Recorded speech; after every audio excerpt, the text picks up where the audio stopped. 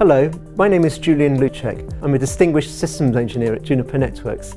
I'd like to talk to you today about fully automated network self-healing with Northstar and HealthBot.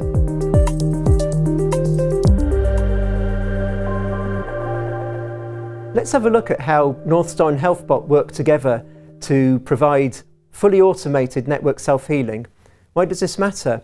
Well, normally identifying the position of a fault in the network can be very time consuming and during this time customer traffic can be adversely affected.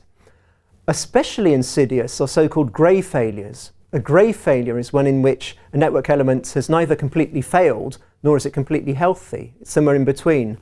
And very often those types of grey failures are not detected by normal network protocols such as the IGPs or BFD. So let's see how HealthBot and Northstar help mitigate this situation.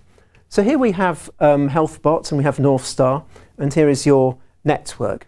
And HealthBot is a health monitoring system. It's capable of receiving a large amount of data from network elements pertaining to their status and um, error conditions.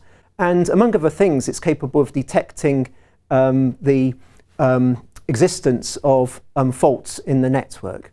When HealthBot detects such a fault, for example, let's suppose it's detected that um, there are some errors occurring on this link here, it automatically sends a REST API call to Northstar requesting an immediate maintenance window on that faulty link. What that means is that Northstar is triggered to automatically move away all of the LSPs that have been using that link. And so what that means is that the link is now drained of traffic and so the operator can then troubleshoot in the knowledge that they're not going to affect um, live data by their troubleshooting operations. For example, they might need to clean the fibre or change a pluggable optic.